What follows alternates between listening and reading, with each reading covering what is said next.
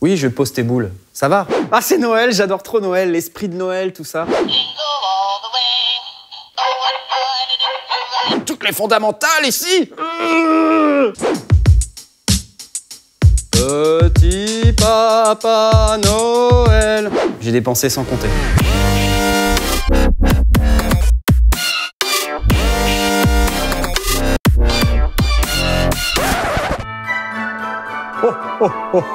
Merry Christmas C'est la belle nuit de Noël. Tenez mon petit Jean-Michel, un petit cadeau pour vous. Vous avez été bien sage. Jean-Michel 2, tiens, un petit cadeau pour toi, tu as été bien sage. Regarde encore un gros cadeau. Oh, oh, oh, oh. Merry Christmas Un Launchpad X C'est l'esprit de Noël Oh, C'est magnifique On va le tester, tiens. Allez, c'est parti. Tiens, un cadeau pour ta petite sœur, Jean-Michel. Voilà. Bon, j'ai une hotte en plastique, mais c'est ça aussi l'esprit de Noël. oui. Merry Christmas Bon, deux appareils merveilleux. Regardez, attention, vous êtes prêts? 3, 2, 1. La magie de Noël. Launchpad X, Launchpad Mini. Ne zappez pas tout de suite. Une énorme surprise vous attend en fin de cette vidéo. Quelque chose d'exceptionnel, quelque chose de phénoménal. Vous avez pas envie de rater ça. Vous avez pas envie. Bon voilà, ça y est, j'ai mon Launchpad X. J'ai démarré une euh, session Ableton Live. Euh, il faut savoir que le Launchpad X est fourni avec Ableton Live Lite par défaut, donc si vous n'avez pas Live, c'est pas grave, vous l'avez avec le Launchpad. Ce qui est vraiment très intéressant avec le Launchpad X, c'est qu'on va retrouver toutes les fonctions classiques d'un Launchpad, mais en plus, on va avoir de l'aftertouch, on va avoir des fonctions supplémentaires pour passer des gammes, des nouveaux modes. Euh, alors bien sûr, on a le mode session, mais on va aussi retrouver un mode note particulier quand on va sélectionner une piste de type synthé, par exemple ici j'ai une basse, analog bass, et vous voyez il y a ce mode avec un petit côté déstructuré, il va y avoir euh, des couleurs différentes, euh, là où des fois il n'y a rien. Alors qu'est-ce que c'est que tout ça? En fait c'est la représentation d'une gamme. Ça c'est une gamme chromatique. Ok? Ce qui m'intéresse moi c'est de pouvoir jouer sur une gamme en particulier. Pour pouvoir faire ça avec le Launchpad X c'est hyper simple, je vais maintenir le bouton note, je vais passer dans un mode de configuration du mode note. Et là, on arrive sur cet écran. Pas mal de paramètres que vous pouvez configurer, comme l'espacement des fondamentales. Vous avez les différentes euh, notes fondamentales que vous pouvez avoir dans votre gamme. Et ensuite, les différents types de gammes ici. Et en bas, on peut configurer ces canaux MIDI. Donc, je vais me mettre en Fa dièse. Et puis, je vais prendre celle-ci, parce que je sais que ça correspond à la gamme harmonique mineure. J'aime bien l'harmonique mineure. Et ça donne ça. Oh, oh, oh et puis, je peux aussi dire à mon Launchpad que je veux uniquement voir les notes de la gamme et rien d'autre. Là, j'ai un petit bouton ici, je l'allume en vert, et ça y est, c'est fini. En violet, j'ai mes fondamentales. Au milieu, j'ai les notes de la gamme. Puis après, évidemment...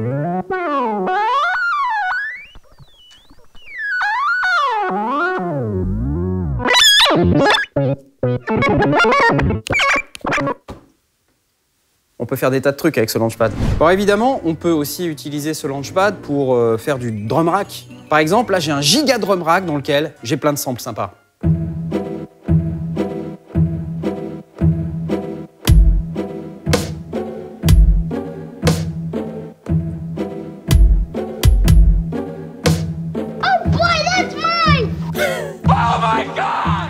Allez, d'autres samples.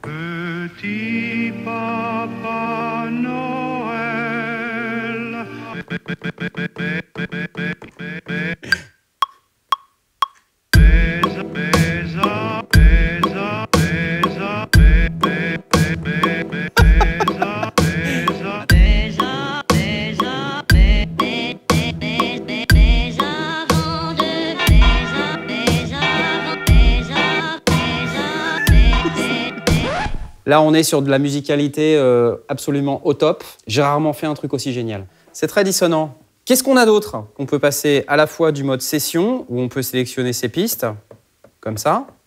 On peut aussi, si on rappuie ici, passer en mode mixeur. Et dans le mode mixeur, ce que j'aime bien, c'est qu'on peut aussi gérer tout un tas d'autres trucs, par exemple le volume de chaque piste. En fonction de la pression que je vais mettre euh, sur le pad, euh, aller doucement faire un petit fade out. Ou alors, en appuyant très fort, revenir très rapidement sur euh, le volume initial.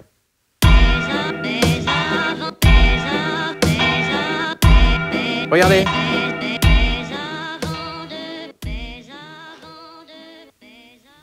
C'est bien quand ça s'arrête en fait. Et ça, je peux avoir cette fonction sur le volume, et je peux l'avoir aussi sur le panoramique, ou sinon les effets send, send A, send B. Et puis après, j'ai d'autres fonctions, comme par exemple une fonction pour stopper des clips, muter des clips, passer en solo, ou armer ma piste. Vous voyez, par exemple, si j'appuie là, j'arme et je désarme ma piste. Armer. Armer, désarmer, désarmer. Jean-Michel me fait signe que c'est pratique pour la Corée.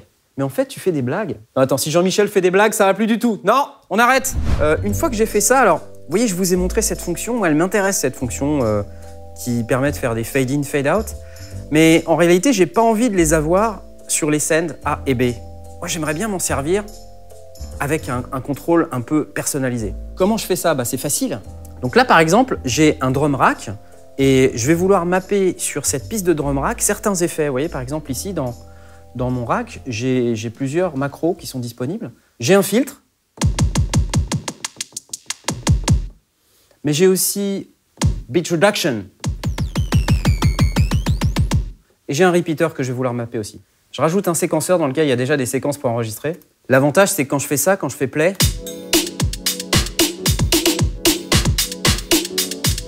Et donc, ce que j'aimerais, c'est mapper euh, ces différents contrôles sur des fonctions de type fade in, fade out. Je vais réserver mon send A, qui est ici.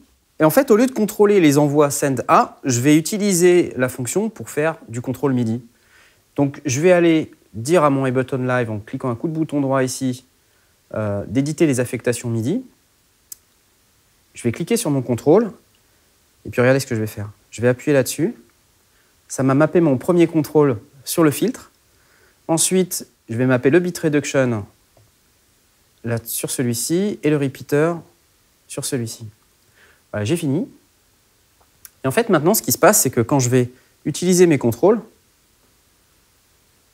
ça passe tout doucement avec le filtre qui s'ouvre tout doucement. Et en fonction de la vélocité avec laquelle je vais taper sur les pads, ça va aller plus ou moins vite. Ça veut dire que si je tape doucement, ça descend tout doucement. Si je tape vite, ça descend très vite. Donc c'est cool, c'est cool parce que ça me permet de faire des trucs du genre... Euh...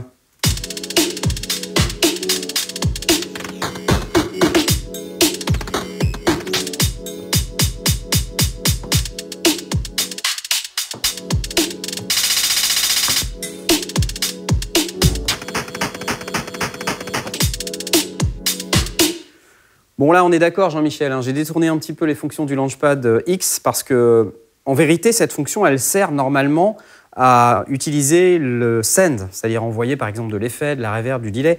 Là, en fait, j'ai trois pistes à ma disposition et en fait, chacune des pistes m'envoie un contrôle MIDI différent. Donc, j'ai utilisé les trois pistes pour pouvoir envoyer trois contrôleurs MIDI. Si je veux envoyer plus de contrôleurs MIDI, j'ai qu'à créer des pistes supplémentaires et elles seront disponibles pour pouvoir contrôler un autre paramètre de votre choix.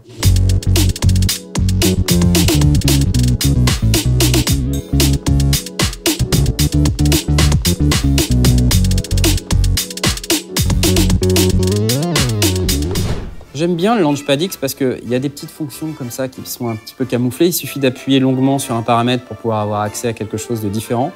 Là, je vous ai déjà montré le mode de configuration des notes, mais si vous appuyez euh, longuement sur la section euh, mixeur, vous tombez sur ce panneau LED. Qu'est-ce que ça peut bien vouloir dire? Je vois pas. Ah si, regarde. Ah, et ça, c'est quand tu supportes pas la lumière, Jean-Michel. Ok? Sinon, on peut l'éteindre aussi. Regarde.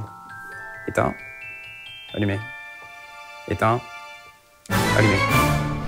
Alors on a aussi accès à des modes dits custom dans lesquels on va pouvoir configurer son Launchpad X pour pouvoir faire des choses personnalisées. Donc là, bah, ça va être un peu à vous de définir ça. Vous pouvez le définir sur le site Components de Novation. Et donc dans le mode custom, vous allez pouvoir configurer votre Launchpad pour faire à peu près ce que vous voulez. Avoir un jeu de pad qui soit vraiment complètement personnalisé pour vous, pour votre live, pour votre show, pour ce que vous voulez. Évidemment, on va retrouver là-dedans toutes les fonctions qu'on s'attend à retrouver dans un Launchpad, en plus d'avoir une fonction capture ici pour enregistrer ses propres séances. Euh, donc ça, c'est plutôt très bien. Bon, mais au-delà des trucs idiots que je peux faire sur mon Ableton Live, moi, ce que j'aime bien, c'est que quand on achète un Launchpad X, on peut directement avoir accès à de la musique en ligne. Euh, vous allez sur le site intro.novationmusique.com et on arrive directement là-dessus, Launchpad Intro, et vous avez déjà des, quelques petites musiques sympas qui sont euh, paramétrées. Et il y a également une application iOS que vous pouvez télécharger pour pouvoir vous amuser avec votre Launchpad. Je vous la conseille parce que c'est relativement sympa.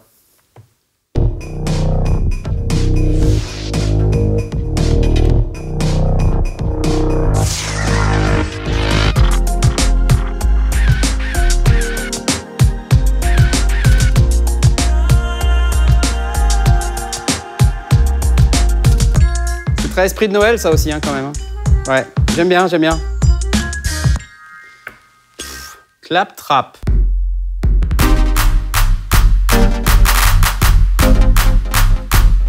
Il y a même un éléphant samplé.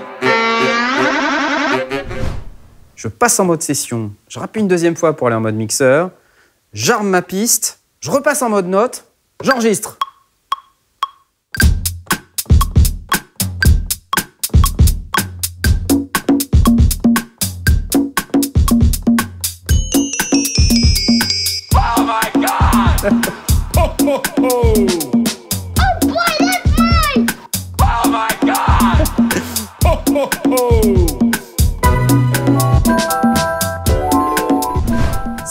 C'était le Launchpad X. Et n'oubliez pas, vous avez aussi le Launchpad Mini. C'est presque pareil, sauf que c'est un peu plus petit. Les fonctions un tout petit peu différentes, mais un appareil qui est tout mignon, c'est tout petit. En plus, regardez derrière, c'est orange.